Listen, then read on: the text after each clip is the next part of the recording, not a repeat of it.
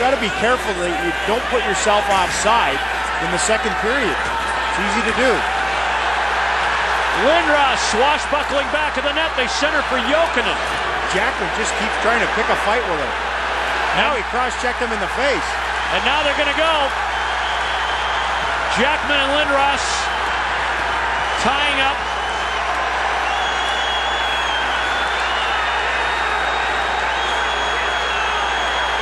Just holding each other up. They got most of it out, I think, during the shift.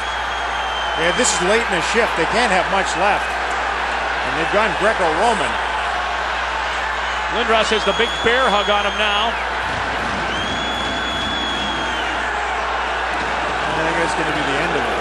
That's the sixth fight. Barret Jackman was all over Eric Lindros in the tail end of this shift. There they are in behind the net. He was on him like a leech in heat.